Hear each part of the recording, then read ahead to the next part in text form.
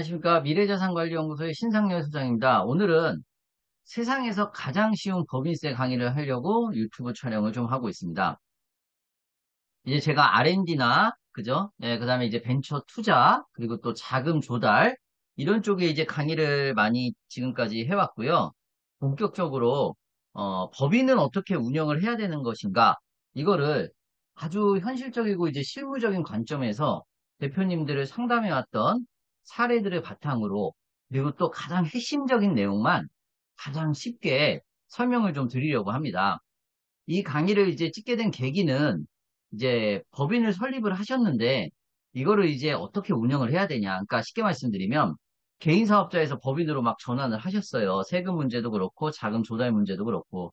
근데 이제 실질적으로 이게 운영이 굉장히 어려운 거 아니냐. 그리고 또 어, 법인으로 전환을 하거나 법인을 설립했는데 이제 이그 운영의 전반적인 내용에 대해서 이제 문의를 많이 해주시더라고요. 그래서 이제 그것을 제가 일일이 다 방문을 드려서 이제 상담을 하는 것도 좋지만 또 이렇게 영상을 남겨두면은 또 쉽게 또 이해하실 수 있고 또 이거를 보시는 분들은 아 법인 세법이 그렇게 어려운 것이 아니구나 법인 운영이 또 그렇게 어려운 것이 아니구나 또 이런 이제 계기를 어, 삼게 해드리기 위해서 또 이 강의를 또 촬영을 하게 되었습니다. 그래서 어, 려운거 하나도 없고요. 그래서 가장 기본적인 거. 그리고 우리가 어떻 우리가 보면 이제 혼자 세상을 사는 게 아니잖아요. 그러니까 뭐 세금에서는 이제 세무사, 그 다음에 이제 노무적인 부분에서는 노무, 노무사, 그 다음에 이제 경영이나 자금 조달 측면에서는 뭐 컨설턴트 분들이 있으니까 세부 항목들이나 이제 세세한 어떤 실무적인 내용들은 이제 그 옆에서 이제 도와주시고 support 해 주시는 분들이 하실 거고요.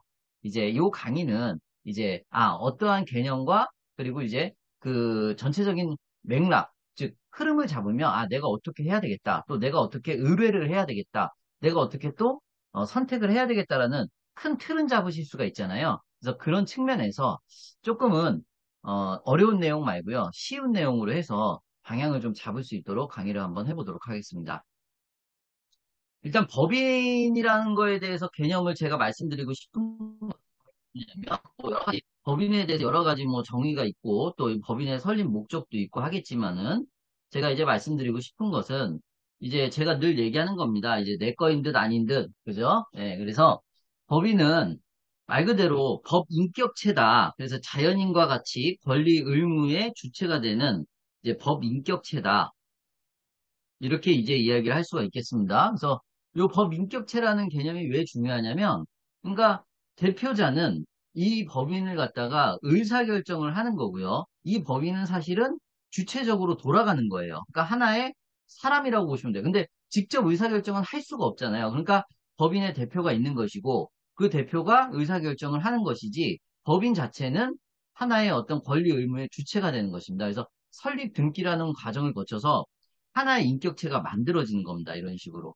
이해되셨나요?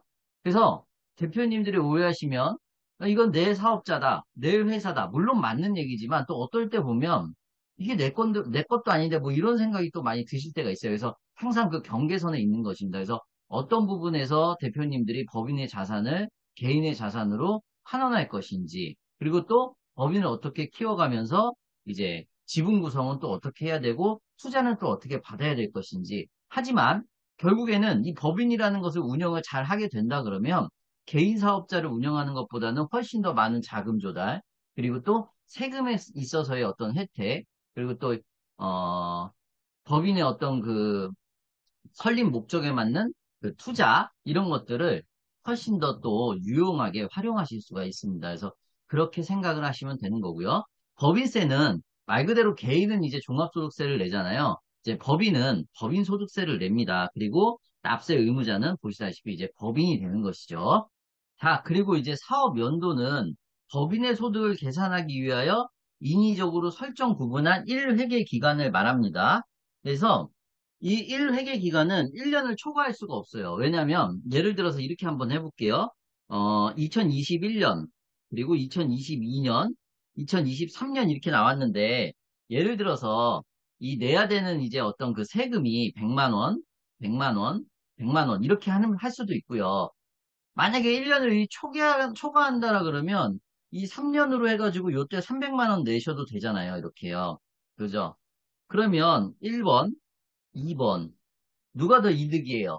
뭐 이자라든지 뭐 금리, 어, 금리라든지 아니면 그 어, 세금을 늦게 내는 이제 납세 이연으로 인한 어떤 그 다른 이제 기회비용이라든지 이런 측면에서 본다 그러면 당연히 회계기간을 3년으로 잡는 것이 훨씬 낫겠죠.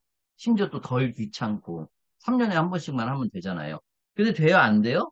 안 됩니다. 그래서 어, 이미, 임의적으로 정할 수는 있어요. 임의적으로 정할 수는 있으나, 어, 1년을 초과할 수는 없습니다. 그래서, 음, 이렇게, 이렇게 끊으셔가지고 하실 수 있고, 또, 다른 방향으로, 이렇게 할 수는 있어요. 4월 1일이다. 그러면 이제, 뭐, 내년도 3월 31일이다. 이렇게 하실 수도 있고, 1월 1일이다. 그리고 12월 31일이다. 이렇게 하실 수는 있어요. 그리고 또, 뭐, 예를 들어서, 뭐, 1월에서 3월까지 끊고, 4월에서 6월까지 끊고 뭐 이렇게 하실 수도 있습니다. 요거는 이제 임의적으로 설정할 수 있는 거예요. 이 사업 연도는. 그 사업 연도의 개념을 정확하게 아시라 이거죠. 근데 대부분은 다 우리가 1월 1일에서 12월 31일을 사업 연도로 계산을 하게 되는 것입니다. 그래서 어, 그런 측면을 정확하게 좀 파악을 하고 계셨으면 어, 좋겠습니다. 그래서 요 단어의 개념을 정확하게 아셔라. 법인, 법인세, 사업연도, 그리고 신설법인의 최초 사업 연도 개시일은 자 여기서의 중요한 것은 요거를 이제 쓸 때가 있어요. 뭐 R&D 사업계획서를 쓰든 어떤 제출을 하든 뭐 그 다음에 뭐 융자를 받을 때든 이런 것들을 쓸 때가 있는데 이제 사업연도 최초 개시일은 사업자 등록 증 증상에 나와 있는 개시일이 아니고 보시다시피 설립 등기일이 법인은 최초 개시일이 되는 겁니다. 그래서 어, 등기부 등본에 보면 이제 설립 등기일이 나와 있거든요. 그래서 설립 등기일이 어, 최초 사업연도 개시일이 된다는 거. 요거 이제 중요한 겁니다. 그래서 요거를 헷갈리시면 안 된다. 그래서 요 장에서는 요 정도 내용을 좀 말씀드리고 가겠습니다. 자, 이제 법인세를 내셔야 되는데 이 법인세가 이제 우리는 이제 세무 조정을 거쳐요. 우리나라 같은 경우에는. 그래서 이 세무 조정을 거치는 수행하는 자에 따라서 자기 조정과 외부 조정으로 나눌 수 있는데 자기 조정은 회사 스스로 세무 조정 계산서를 직접 직접 작성해서 조성하는 것이고 외부 조정은 세무사 등이 조정을 수행하는 것인데 뭐 자기 실, 실제적으로는 회사 스스로 세무 조정 계산서를 직접 작성하는 경우는 없습니다. 대부분 다 예, 외부인이 세무사 등을 통해서 세무 조정을 거치게 되는데 왜 이 자기 조정과 외무, 외부 조정, 즉 다시 말씀드리면 이 세무 조정을 말씀을 드리냐면 이 세무 조정이 이제 경영회계 측면에서 기업회계 측면에서 그리고 세무회계 측면에서 차이가 있어요. 그랬더니 그 차이 때문에 자 다시 한번 말씀드릴게요. 기업회계하고 세무회계하고 차이가 있습니다. 그래서 이 차이 때문에 이 세무 조정이 발생을 하는데요. 그래서 이 기업 회계는 무엇이고 이 세무 회계는 무엇인가 이걸 알아야 이제 또 세무 조정을 이해하고 법인세를 이해하실 수가 있습니다. 그래서 어, 대부분의 대표님들이 기업 회계, 세무 회계 헷갈리시기 때문에 이 부분을 강의를 통해서 잠깐 좀 짚고 가도록 하겠습니다. 어렵지는 않습니다. 그래서 어, 기업 회계하고 세무 회계는 일단 기본적으로 목적이 틀려요. 기업 회계는 이제 발생주의라 그래서 보시다시피 거래가 발생한 시점을 기준으로 기록하는 것으로 해당 기관에 이게 중요해요. 목적이. 그래서 이제 경영 성과를 합리적으로 측정해서 보고하는 데 목적이 있는 거고요. 세무에게는 권리 의무 확정주의라 그래서 발생주의하고는 차이가 있고요. 예, 조세 부담의 공평성을 위해서 말 그대로 예, 현금이 나가고 들어오고라는 것을 이제 기록하게 되는 것입니다. 그래서 정확한 세금 산출의 목적이 있는 게 바로 세무회계다. 그래서 기업회계는 발생주의의 기본을 둔 경영성과를 합리적으로 측정 보고하기 위한 것이고 이해되셨나요? 예, 세무회계는 조세 부담의 공평성과 그 다음에 어, 현금의 이제 입금과 출금, 그러니까 들어오고 나가고에 대한 어떤 정확한 세금 산출을 위한 것이기 때문에 이 목적과 관점에 따라서 어, 비용으로 처리할 수 있느냐, 수익으로 처리할 수 있느냐, 송금 처리가 되느냐 안 되느냐 이런 것들의 차이가 있을 수 있다는 얘기죠. 이렇게까지만 말씀드리면 정확하게 이해가 좀 안 되시기 때문에 제가 어, 조금 있다가 그 뒷화면에 보시면 실질적으로 어떻게 차이가 나는지 사례를 좀 드러났습니다. 그래서 그 사례를 보고서 어, 조금 더 이해를 하시면 되겠습니다. 그래서 목적에 따라서 기업회계와 세무회계의 차이점이 발생할 수 있다라는 거 말씀을 드릴 수가 있겠고요. 두 번째로는 뭐 이제 예를 들면 이제 감가상각 같은 경우에요. 감가상각은 이제 보시다시피 기업회계에서는 합리적인 추정에 따라서 회사가 채택한 이제 감가상각 방법과 내용 연수를 인정을 합니다만은 이제 세무회계 같은 경우에는 얘는 이제 감가상각은 사실은 돈이 나가고 또 들어오는 게 아니잖아요. 그러다 보니까 이제 세무회계 같은 경우에는 세법의 규정에 따르는 것이고 기업회계에서는 이제 회사가 채택한 어떤 방법, 내용 연수를 인정을 해서 다르게 좀 어, 기장을 할 수가 있는 부분이 있는 거죠. 그러나 세무회계는 정확하게 세법 규정에 따르기 때문에 이 부분에 있어서 또 차이점이 발생할 수밖에 없다. 그리고 시점에 따라서 수익과 비용을 인식하는 시점이 언제냐. 뭐 예를 들어서 12월 달에 관리비가 발생을 했는데 그럼 우리가 이제 1월 달이나 2월 달에 내잖아요. 예를 들어서. 그럼 기업 회계에서는 그것을 이제 12월로 보는 것이고 세무회계에서는 돈이 나가는 게 1월이나 2월이니까 그, 그 시점으로 본다라는 거죠. 그러니까 연도가 넘어가게 되는 것입니다. 이런 식으로. 그러면 정리를 해보면 기업 회계와 세무회계는 목적, 관점, 시점 이런 것들에 따라서 조금씩 차이가 있을 수 있습니다. 그래서 완전하게 막 많은 차이가 있는 것은 아니고요. 그리고 또 이제 어, 약간의 이제 실수, 그다음에 이제 정관상의 규정 이런 것들로 인해서 차이가 있을 수 있고 그 차이를 조정하는 것이 바로 뭐다? 네 글자로 자 세무 조정이다 이렇게 이제 말씀을 드린 겁니다.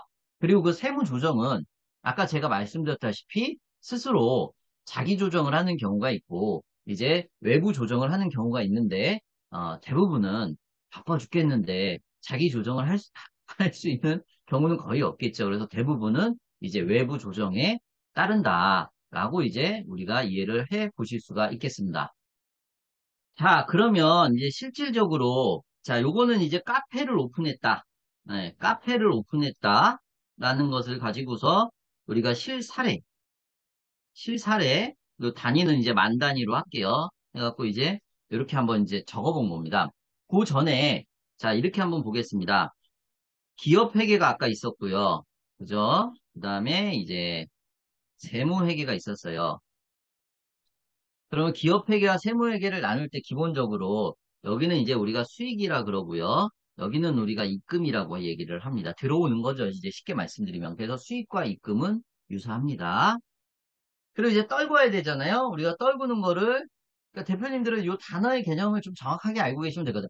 아니 어떨 땐 수익이라 그러고 어떨 땐 입금이라 그러는데 뭐 이런 거를 좀 헷갈려 하지 마시고 이제 기업 회계 쪽에서 이제 우리가 수익이라고 하는 것이고 세무회계에서는 우리가 입금이라고 하는 것이고 네, 이렇게 이해를 하시면 좋을 것 같습니다.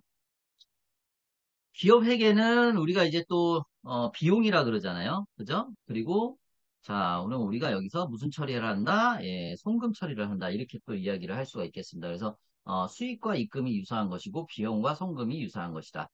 아주 많은 차이가 날지는 않습니다. 뭐 세무조정을 한다 그래서 하지만은 기본적으로 이 세무조정이라는 걸 거치고 법인세를 계산할 때 세무조정 계산서가 들어가죠. 그러다 보니까 이 세무조정에 대해서 이해를 못 하시기 때문에 제가 이 법인세 산출 방법을 강의하기 전에 잠깐 이야기를 하는 것입니다. 예를 들어서 여기다 써보겠습니다. 수익이 수익이 150이다. 그죠? 근데 입금이 예를 들어서 100이 잡혔다.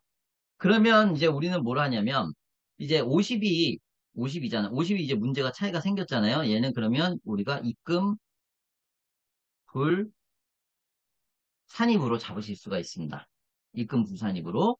자, 그 다음에 만약에 예를 들어서 반대로 해볼게요. 수익이 50이다. 그리고 입금이 100이다. 그냥 이렇게 쓸게요. 자, 그러면 또 역시 50만큼 차이가 생겼잖아요. 그런데 50이 적으니까 얘는 50을 입금을 뭘 해줘야 돼요? 산입을 해주셔야 됩니다. 그죠? 수익이 150, 입금이 100. 그러니까 입금을 50을 불사, 불산입해주는, 불산입하는 거고요. 수익이 50, 입금이 100. 그러면 입금이 더 작기 때문에 50이라는 입금을 아, 입금이 더 크기 때문에 어, 입금을 산입을 해주셔야 되는 겁니다. 반대로 자, 비용이 150이다. 비용이 150이다.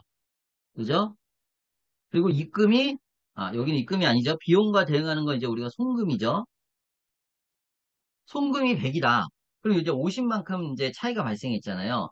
요거는 이제 송금, 불, 산입 금액이 이제 얼마다? 예, 50이다. 이렇게 이제 이야기를 하는 거고요.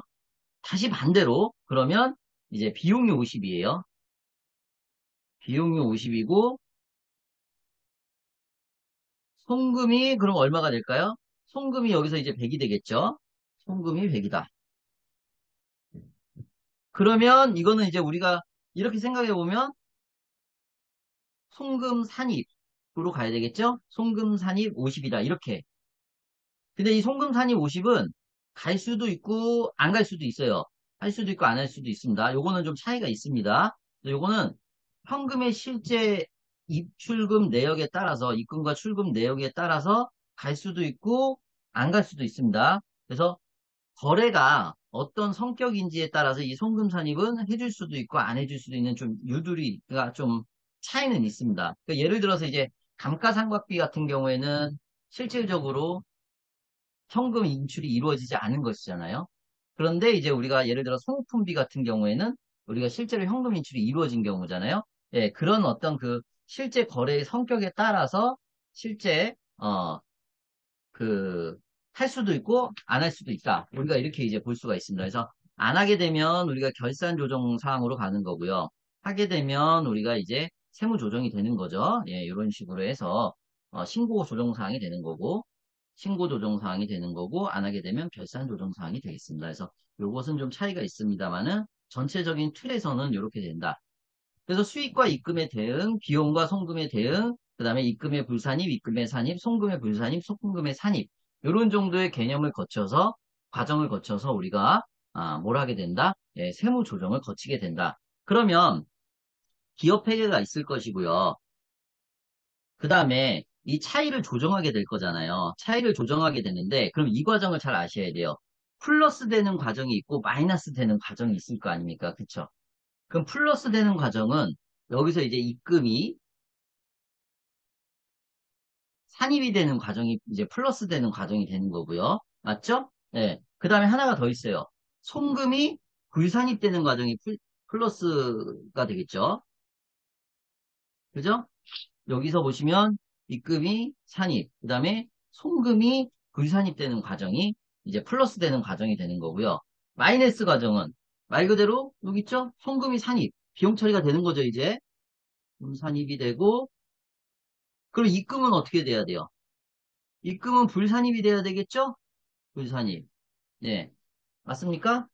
그러면 요 차이를 조정을 하는 거죠. 이렇게. 요걸 계산을 하셔가지고 계산해서 요 차이를 통해서 이제 세무 조정이 이루어지는 것입니다. 세무 조정이. 그렇게 함으로 인해서 뭐가 나옵니까? 각, 예, 각 사업연도, 연도 소득이 나오게 되는 것이다. 이해되셨나요? 그러니까 결산상에 결산상에 단기순이익이 나오고요. 이 세무 조정을 거쳐서 자 다시 한번 써볼게요. 결국에는 각 사업 연도 소득이 나오게 된다. 이렇게 이해를 하실 수가 있겠습니다. 자 이제 실제 예 카페 카페의 예를 한번 들어보겠습니다. 단위는 이제 만 원이고요.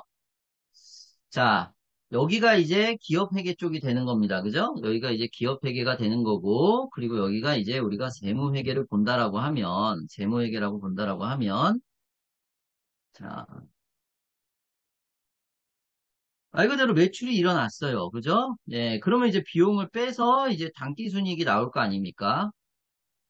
단기 순이익이 나올 거다. 근데 여기는 비용이 800이 잡히고요.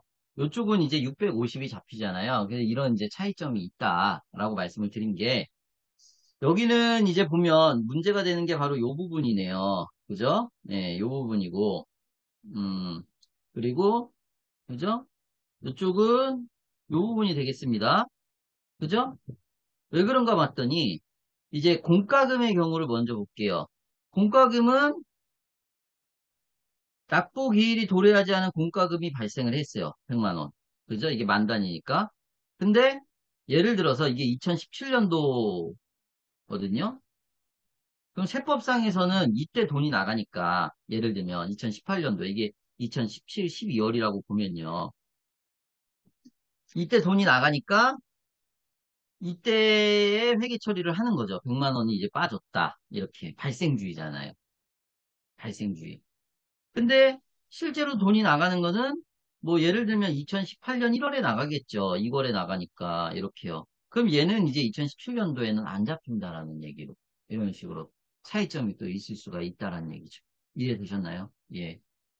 그리고 또 인테리어비도 마찬가지로 이제 얘는 600만 원을 3년 동안 이제 감가상각을 시키는데 보통 이제 세법상으로는 4년 동안의 비용으로 이제 요 업종에 따라 좀 차, 차이가 있지만은 자산으로 인식한 인테리어의 총액의 600만 원의 감가상각의 내용 연수가 다르다 이런 얘기죠. 그래서 얘는 4년에 하고 얘는 3년에 하다 보니까 얘는 150이 잡히고 얘는 200이 잡히는 거죠. 그렇게 하다 보니까 결국에는 어, 비용에서 이렇게 차이가 나는 것이고요. 맞습니까? 음, 얘는 650, 얘는 800 이렇게 되는 것입니다.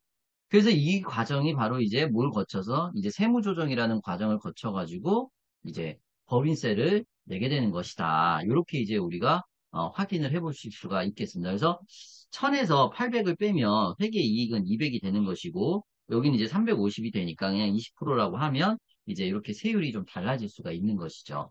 그래서 요거를 실질적인 사례를 가지고서 우리가 한번 살펴본 것이고 뭐 기업 회계, 세무 회계 이거를 이제 우리 대표님들이 어, 깊게 아실 필요는 없, 없으시나 적어도 세무 조정이라는 과정을 거쳐서 어, 최종적으로 어, 법인세를 내야 된다라는 것은 우리가 확인을 해보셔야 된다, 알고 계셔야 된다 이렇게 이제 말씀을 해드릴 수가 있겠습니다. 법인세는 각 사업연도 종료일이 속하는 달에 사업연도의 개념을 제가 아까 말씀드렸고 그럼 우리는 보통 1월부터 12월이니까 이제 3월에 그죠? 어, 법인세 신고를 하게 되는 것이죠. 그리고 이 사업 연도는 이제 1년을 초과하면 안 되기 때문에 이제 사업 연도를 정하는 것을 말씀드렸었던 거고요. 그리고 이제 신고 시에 어, 재무상태표가 들어가는 것이고 그 다음에 뭐 이익잉여금 처분계산서가 들어가고 이제 세무조정계산서 들어가고 그 밖에 서류들이 들어가는데 이제 아시다시피 재무상태표 포괄속인계산서는 이제 우리가 너무 잘 아시는 거고 잉여금 처분 결손금처럼 결손이 나면 결손금처일 거고 잉여금이 나면 잉여금처일 거고 그 다음에 아까 제가 말씀드린 게 바로 이 세무조정 계산서 그래서 요것들이 이제 어, 최종적으로 같이 이제 제출해야 되는 서류가 되겠습니다. 자, 각 사업연도 소득의 단어의 개념을 정확하게 아시겠죠? 예, 단기 순이익이 나오면 이제 세무 조정을 거쳐서 예, 각 사업연도 소득이 정해지는 것이고, 예. 소득의 종류가, 아, 이렇게 보셔야 되겠네요. 음. 입금 총액에서 예, 송금 총액을 뺀 금액이 각 사업연도 소득이다. 그리고 1번, 두 번째, 세 번째, 네 번째 이렇게 됩니다. 그래서 우리 소득의 종류는 네 가지가 돼요. 각 사업연도 소득, 청산소득, 토지 등 양도소득. 양도소득은 또 따로 부과합니다. 예.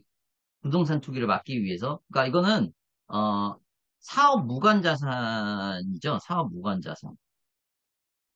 이거는 따로 부과를 해서 소득으로 잡힙니다. 이게 이제 그러니까 우리가 물건 팔고 이런 거는 다 각 사업연도 소득 안에 잡히는 거잖아요. 그리고 이제 청산할 때 소득이 잡히는 거고 이건 뭐 우리는 청산 안 할 거니까 크게 상관없는 거고 미완료 소득도 우리 이제 대기업에 해당이 되는 거니까 일반 중소기업에는 해당이 거의 없 해당이 없으니까 해당이 안 되는 거고 그러면 우리가 이제 법인세를 하기 위해서 어, 과세 표준을 구하기 위해서 가장 우리가 봐야 될 것은 어, 각 사업연도 소득과 토지 등 양도 소득인데 토지 등 양도 소득이 또 별로 그렇게 해당이 안 된다 그러면 이제 결국에는 각 사업연도 소득을 가지고 과표가 나오게 되는 것입니다.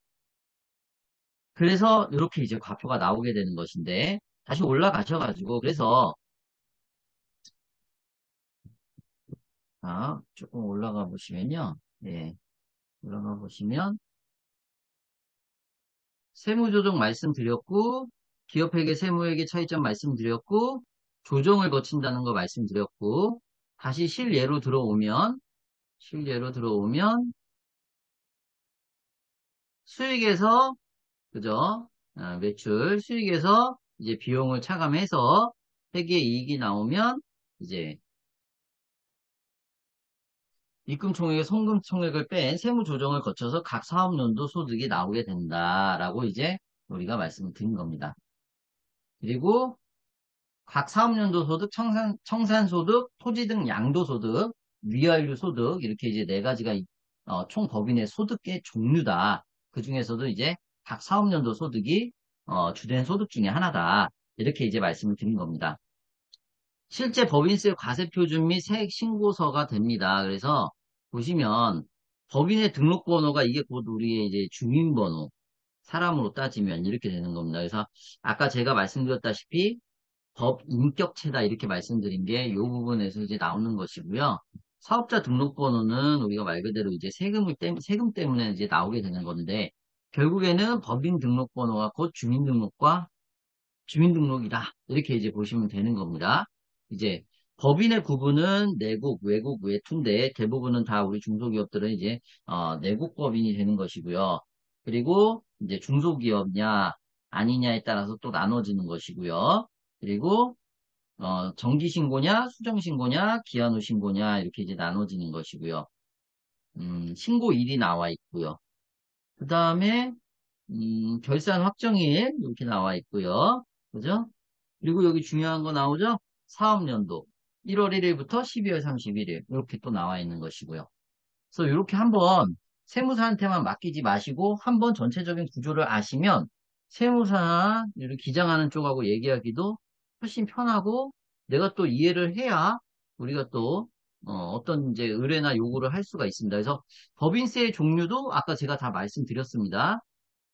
법인세 있는 것이 어, 법인세 있는 것이고 그 다음에 양도소득에 의한 것이 있는 것이고 그 다음에 미완료 소득에 의한 것이 있는 것이다 이렇게 이제 말씀을 드린 게 아까 그 네 가지 종류 아까 말씀드린 거고요.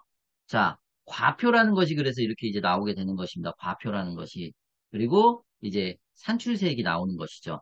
그리고 맨 마지막에는 보시다시피 어, 차감 납부 세액이 나와서 최종 결정이 되는 것입니다. 그래서 이 전체적인 흐름을 그래서 요 표 한 장으로 아 법인이 어떻게 설립이 돼서 세금을 어떻게 내는가를 요 표 한 장으로 확인을 한번 해 보실 수가 있겠습니다. 자, 제가 아까 이제 말씀드린 부분입니다. 그래서 어, 입금 산입, 그죠? 예, 송금 불산입.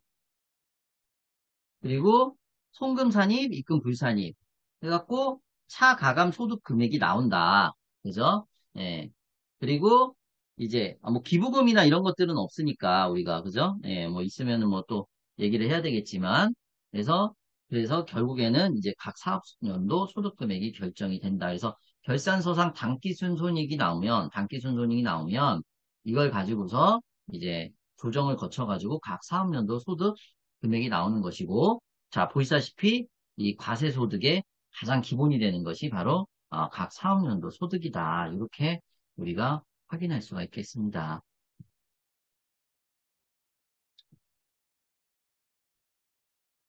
자, 과표를 계산을 해보겠습니다. 그래서 아까 이제 보시면 자 여기서 이제 보시면은 이제 과표가 나왔잖아요. 이 과표를 어떻게 계산을 하느냐 이렇게 이제 우리가 보는 거죠. 그래서 과표를 계산을 하면 2월 결손금이라는 게 있어요. 그래서 15년 이내, 그러니까 무한대로는 아니고 결손이 되면은 결손된 금액들이 계속 2월이 됩니다. 그래서 어, 15년 이내에 발생한 2월 결손금이 또 넘어오게 되는 것이고, 그리고 비과세 소득, 그리고 소득공제를 받아서 이제 과표가 결정이 되는데, 이런 경우가 뭐 이건 이제 그렇게 크게 신경 쓰실 부분들은 아니니까 2월 결손금, 2월 결손금은 우리가 조금 눈여겨서 우리가 좀 보실 수가 있겠습니다. 자, 그래서 2월 결손금을 잠깐 이제 우리가 한번 살펴보면요. 예를 들어서 이제 15년 동안에 발생한 2월 결손금을 이제 소득 금액으로 이제 어, 조정을 해준다라고 이제 얘기를 하는 거 아닙니까? 요게 나오면 그러니까 요게 이제 단기 순이익에서 세무 조정을 거쳐서 나오면 그죠? 어, 결산서, 결산서상 단기 순손익을 통해서 소득 금액이 나오면 그 소득 금액을 가지고서 다시 한번 이제 2월 결손금, 비과세 소득, 그리고 소득공제를 고려해서 이제 과표가 나온다는 얘기인데 그래서 이제 이 2월 결손금에서 대해서 조금 살펴보면 예를 들어서 이제 A법인이 있다. 그리고 왜 이게 넘어와야 되냐면 요걸 이제 명확하게 이해하시면 쉽습니다. 어, 수익이 A법인이 예를 들어서 이제 2020년도에는 10억이 잡혔어요. 그리고 나서 2021년도에는 이제 20억? 20억으로 해볼까요? 네, 20억이 잡혔습니다. 20억이 잡혔고, 그리고 B법인 같은 경우는 똑같이 이제 10억, 그리고 20억이 잡혔다라고 할게요. 근데 이제 이 비용이 이제 설립을 막 많이 하다 보니까 돈을 많이 쓴 거예요. 그래서 이제 15억이 됐고, 여기가 5억이 됐고요. B법인은 조금 현명하게 썼어요. 그래서 여기는 5억이고, 여기는 15억이 됐습니다. 그럼 이제 한번 생각을 한번 해볼게요. 여기는 이제 마이너스 5억이 되겠죠. 계산을 하면. 여기는 이제 뭐가 됩니까? 해양비실 해볼게요.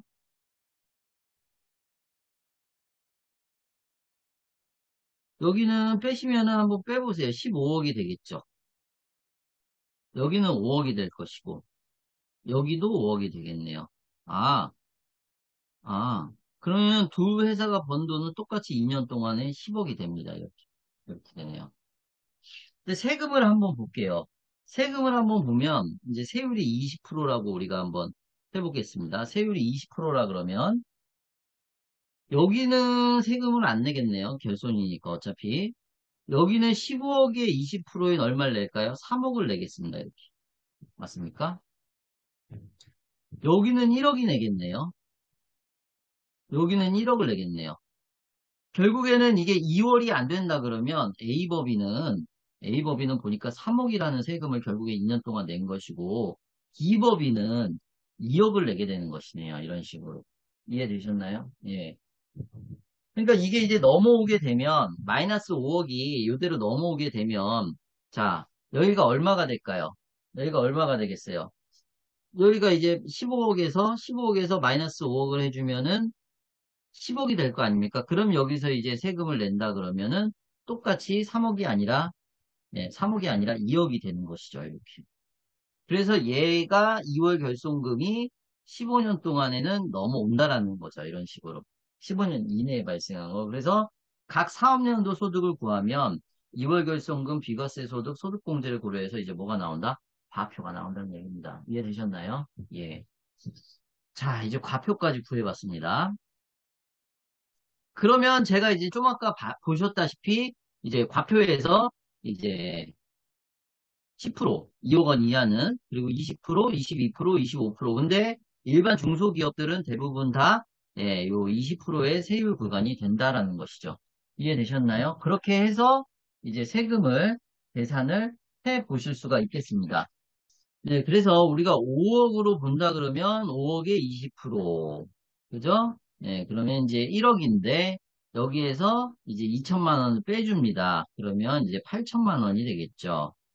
여기는 이제 10%니까.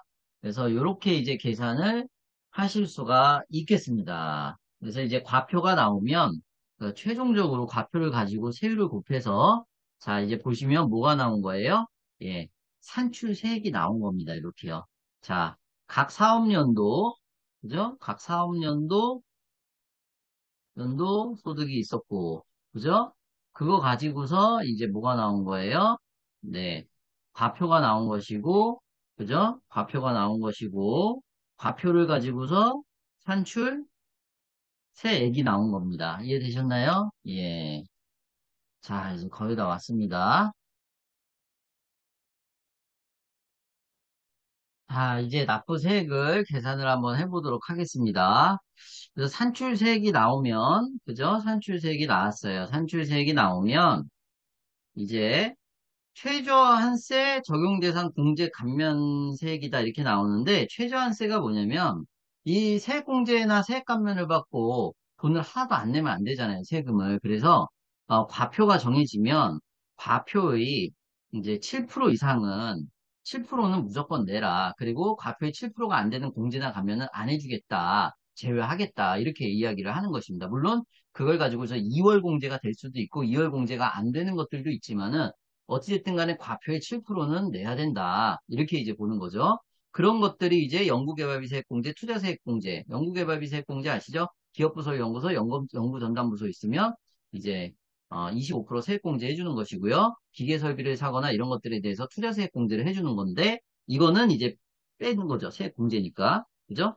빼면 이제 차감 세액이 나오는 겁니다. 이렇게.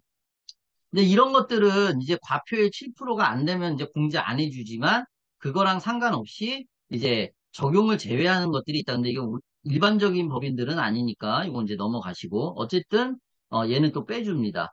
그죠? 그리고 가산세가 있으면 가산세 더해주고 감면분 추가 납부세액이 있으면 더해주고 그리고 이제 총 부담세액이 나오면 여기서 이제 기납부세액, 뭐 원천 납부세액이라든지 예납세액, 수지 부과 혜택이 나오면 이제 결국 어, 차감 납부세액이라는 최종적인 세액이 나오게 된다라는 것입니다.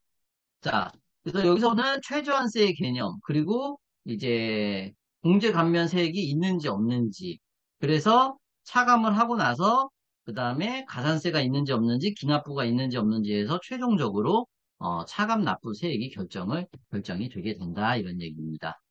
자 다시 한번 거꾸로 올라가면서 산출세액이 있었죠. 산출세액은 이제 과표의 세율을 곱한 것이고 과표는 그럼 어떻게 나온다? 예, 각 사업연도 소득에서 2월 결손금과 비과세 소득과 소득공제를 어, 계산해서 나오는 것인데 비과세 소득과 소득공제는 크게 고려를 안 해도 2월 결손금은 이제 아까 설명드린 대로 15년 이내에 2월 결손금까지 반영이 된다라고 이제 말씀을 드린 거고 이제 세무 조정을 거쳐서 결산서상 단기 순이익에서 세무 조정을 거쳐서 각 사업연도 소득 금액이 나온다라고 해서 자 결국에는 보시면 최종적인 이제 차감 납부, 차감 납부 세액, 차감 납부할 세액이 나오게 된다라는 것입니다. 자, 그 다음에는 이제 마지막으로 소득의 처분입니다. 우리가 이제 단기 순이익에서 나온, 단기 순이익에서 나온 이제 소득의 경우에는 주총을 통해서, 종을 통해서 뭐 배당이라든지, 이제 적립금 통을, 적립금이라든지 이런 것들을 통해서 우리가 할 수 있고요. 이제 이 세무 조정 사항에 의한 이 세무 조정은 소득의 귀속자가 이제 미확정이 됩니다. 소득의 귀속자가 미확정이 되다 보니까 이걸 가지고서 우리가 음, 법인세법에 따라서 이제 어, 소득을 처분을 해야 되는 것이죠. 그래서 어, 가산 이건 이제 더해지는 것이고 가산이고요.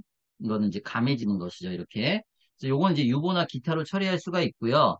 요건 더해지게 된다 그러면 이제 기속이 불분명하다면 대표자의 상여로 처리되는 것이고 기속이 분명하다 그러시면 배당 상여 그 다음에 어, 기타 소득 등으로 처리할 수 있고요. 그 다음에 이제 어, 유보 혹은 기타 이렇게 해서 처리될 수가 있겠습니다. 그래서 세무 조정 금액 같은 경우에는 단기 순이익과 별개로 어, 이게 귀속이 어, 미확정되기 때문에 어, 가산이 됐느냐 아니면 이제 감해졌느냐에 따라서 이렇게 형태를 나눠져 가지고 소득의 처분을 해야 된다라는 것을 말씀을 드릴 수 있고요. 이거와 다르게 단기 순이익은 이제 주총에 의해서 배당을 하든 적립을 하든 어, 그렇게 이제 어, 회사의 정관에 따라서 처리를 하시면 됩니다.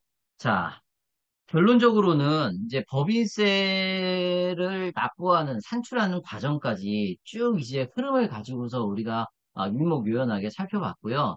그 중에서 중요했던 것들이 이제 세무 조정을 거쳐서 과표가 나오고 과표를 통해서 세액공제를 받을 수 있는데 이제 그 최저한세라는 것은 반드시 내셔야 되고 그리고 또 그 과정에서 2월 결손금이 어떻게 나오는 것이고 법인세가 최종적으로 어떻게 예, 납부할 세액까지 정해지는지를 어, 우리가 한번 살펴본 것입니다. 그래서 제가 강의한 내용을 토대로 해서 아 법인세 산출의 전반적인 과정 그러니까 제가 일부러 어, 매출이 일어나면 그리고 또 매출에서 이제 판관비를 빼면 그리고 판관비에는 어, 접대비가 뭐고 뭐고 이런 것들은 다 뺐어요. 너무 이제 어, 다른 강의들도 많기 때문에 그래서 그 강의는 제가 이제 따로 이제 이야기를 하도록 하고요. 단순히 우리가 매출이 발생했고 비용이 발생했을 때 그것을 빼서 이익이 나왔고 그 이익들이 어떻게 세금으로 최종 납부할 세액으로 연결이 되는지 이걸 아셔야 그리고 우리가 뭐 소득공제도 알 것이고 그리고 또 세액공제가 어디 항목에서 우리가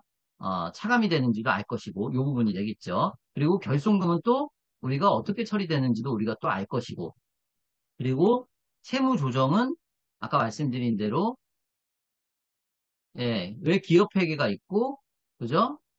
소득, 소득의 종류는 뭐고, 그리고 기업 회계, 회계 기준이 있고, 세법 기준이 있고, 요 과정들을 전반적으로 이해를 하시기를 예, 제가 아주 알기 쉽게 설명을 했다고 저는 생각을 합니다.